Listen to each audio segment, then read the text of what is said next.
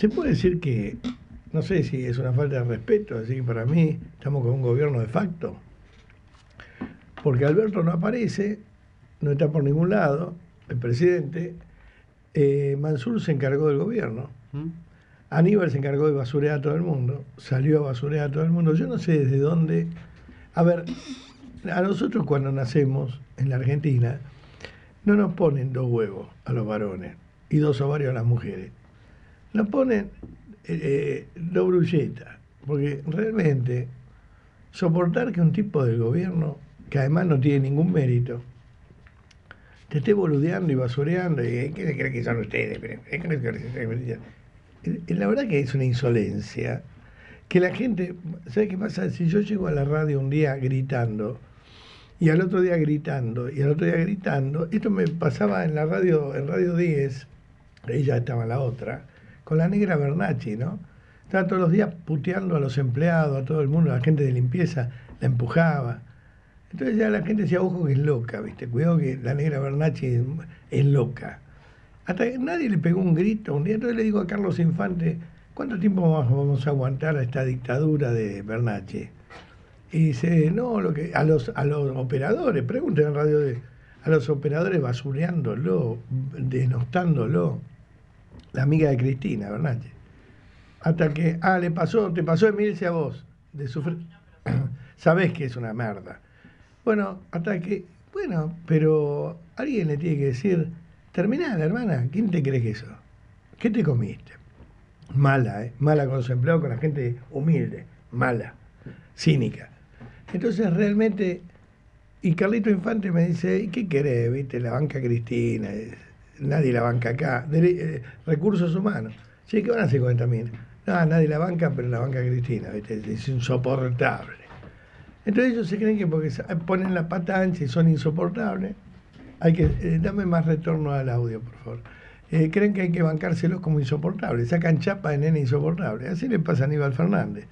Sacó chapa de nene insoportable. Ay, ¿qué, carajo no estoy haciendo yo? ¿Qué mierda me importa? ¿Viste? Entonces pasamos de un tipo que era un chamullero, el presidente, un payador, pasamos a un insoportable que tiene el mismo apellido y parece que el apellido Fernández en el poder tiene, viste como cuando juntás Coca-Cola con, ¿cómo se llama eso que se queman en el fuego los pibes que los queman en la... Malvavisco. Un malvavisco con Coca-Cola explota, viste. Parece que el poder a los Fernández le hace mal. Porque tiene la misma soberbia Aníbal que Cristina, apoyadas en la nada. En la nada más que los fracasos que han cometido. Aníbal yo no tengo nada, ¿eh? no voy a pegarle a Aníbal porque sí. Porque además es conocido. Aníbal viene de fracasar en Pinamar como concejal, como candidato a concejal, y de golpe está en la presidencia manejando el país. ¿Se dan cuenta la improvisación de este gobierno, el grado de improvisación? Ahora, qué casualidad. En el mismo momento de cambio de gabinete entra la barra brava, entra la falopa, entran la droga con todo, los tiros en la calle, la guerra de mafias, Vuelve el fútbol como negocio, la pelea de las camisetas, la pelea de la falopa. Qué casualidad. Es muy raro, ¿no? O antes lo tenían tapado, o ahora se destapó. Y qué casualidad también que vuelve la, armada Brancaleones de Cristina, que son Mansur, Aníbal y toda esta, esta claque, y, y se acaba el COVID. O sea, la gente puede ir a la cancha, puede correrse a los tiros por la calle.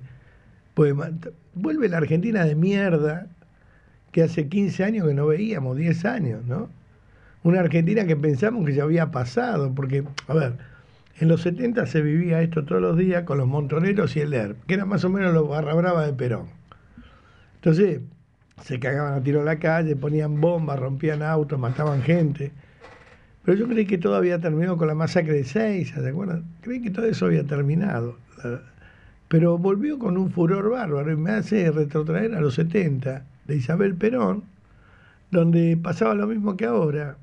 Manejaba López Rega el gobierno, Isabel estaba escondida en algún lado, temblando de miedo, y, y toda la, la los fascinerosos del gobierno de Isabel hacían lo que querían y te cambiaban los planes todos los días.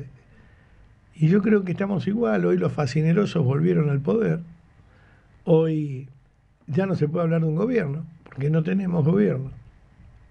Cuando no hay gobierno no hay república. Entonces Mansur agarró riéndose con cara de yo no fui, agarró la manija, salieron a repartir la plata del pueblo, que no es la plata de ellos, sacaron del Banco Central la guita, empezaron a pagar a la gente por voto, salieron a comprar bicicleta, heladera. Y yo creo que todo esto los perjudica más, porque yo creo que ver la cara de Aníbal Fernández, la cara de Mansur, irrita mucho más al que duda, ¿no? Porque decir, uy, más de lo mismo, qué mierda. Y como pasó siempre, la viuda negra, el artífice de todo este desastre, este descalabro en la Argentina, está escondida en algún lugar. No aparece. Está, eh, yo me la imagino, ¿viste? Con esa cara de odio, eh, tratando de lucubrar qué plan puede tener para destruir más la Argentina y llevarse más plata. Bueno, esta es la gentuza que nos gobierna. Realmente es lamentable. Espero que los argentinos lo vean, que los argentinos se den cuenta que el que le vendieron la bicicleta va a tener que vender para comer después del 14, que al que le dieron la heladera la va a tener que vender porque no tiene que poner adentro después del 14 porque no va a haber más plata, hay que explicarle las cosas como son a la gente. Acá no levanta ninguna Argentina ni ningún plan de futuro. Acá hay un país muerto, un país saqueado, gobernado por piratas, delincuentes. Es más, que ya no tenemos ni un presidente para echarle la culpa. Tenemos un equipo de sinvergüenza que se hicieron cargo de la Argentina y que va a ver que hacérselo pagar en las próximas elecciones. Nos guste o no nos guste. Ahí estoy viendo eh, la cantidad de robos grabados en video que hay. Ya de todos los. ¿Se acuerdan cuando yo hablé que habían afanado dos camionetas de pistolas Versa, tándem? Bueno, ayer los que agarraron tiroteándose tenían versas tándem cromadas. Hoy todos los delincuentes están armados con versas tándem robadas en, su momento, ¿no? Todos los delincuentes. Bueno, eh, es un país muy, muy feo este. El país es maravilloso, pero es muy feo como está gobernado. Eh, este país se puede llegar a poner muy violento después del 14, porque imagínense que con Aníbal Fernández, y toda esta gente arriba, eh, no hay salida dialogada.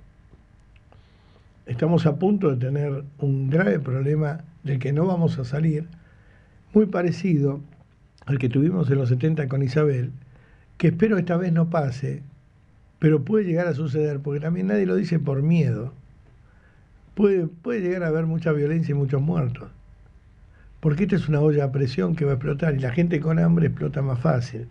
No estoy haciendo una maniobra este, revolucionaria, nada, nada, que ver. Yo soy el que menos quiere que haya violencia. Pero ustedes vieron que en la calle andan todos los chorros armados, tienen libertad de manejarse, porque como todos sabemos, el gobierno de Cristina es un gobierno pro ladrón, pro chorro.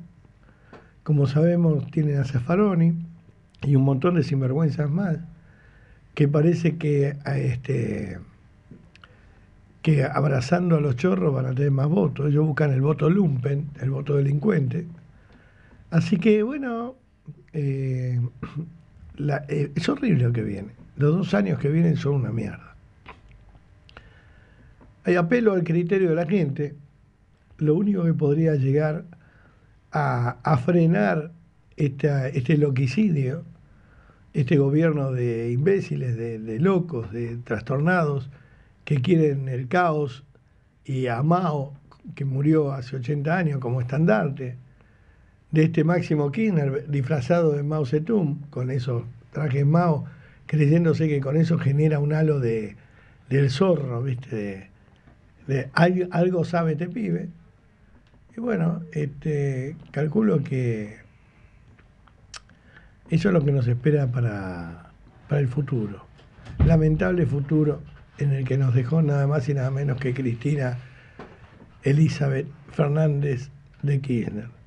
Un país hecho mierda por ella en 20 años, un país destruido, y como si fuera poco la destrucción económica, ahora la destrucción moral, habernos robado la voluntad, haber dejado a la gente indigente, 20 millones de personas en indigencia, Cristina Fernández, Cristina Elizabeth Fernández de Kirchner, eh, ahora va por la violencia, la violencia verbal, la basuriada y el miedo, porque ellos gobiernan por el miedo. Ojo, no te metas con esto, ojo con la cámpora, ojo con la FIP, ojo con, ojo con, ojo con, ojo. El ojo con nos ha llevado a ser un país de cobardes sometidos bajo una zapatilla y que nos va a costar mucho salir. Por eso yo contaba el otro día en la tele que hasta la última gota de mi sangre la voy a dar mientras tenga micrófono y cámara para verlos presos. Por eso le pido a toda la gente que nos escucha, que es mucha, en todo el país, acompáñeme a meterlos en cana. Acompáñeme a hacerle perder el poder en el Senado y que vayan a la justicia antes que la injusticia se apodere de las calles.